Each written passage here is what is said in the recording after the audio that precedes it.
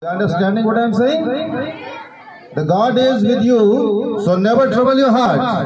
And the other thing Jesus said about children is that do not worry for tomorrow. Do not worry for tomorrow because the worries of today are enough.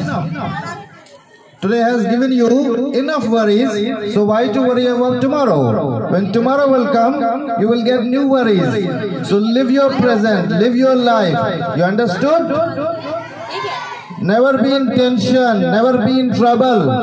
And the third thing Jesus says about the children, especially about the children in his gospel, you know, Jesus gave Jesus gave his first sermon, and that was called Sermon on the Mount. Sermon on the Mount. In Sermon on the Mount, he said, when you pray to God, when you pray to God, just get confirmed. Your prayer is accepted. So if your prayer is accepted, then what to worry?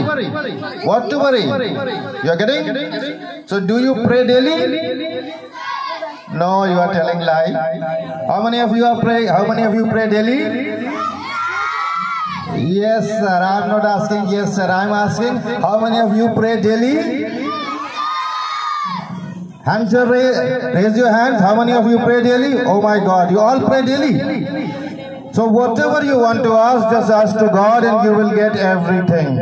And you know, Jesus says that when you drink this water, this water will make you again thirsty. But the water Jesus is giving will never make you thirsty. And what is that water? That water is that the kingdom of Jesus is beyond this world. The kingdom of Jesus is not this world because Jesus has lakhs of followers and not even one of them protested when he was arrested by the Jews and hanged.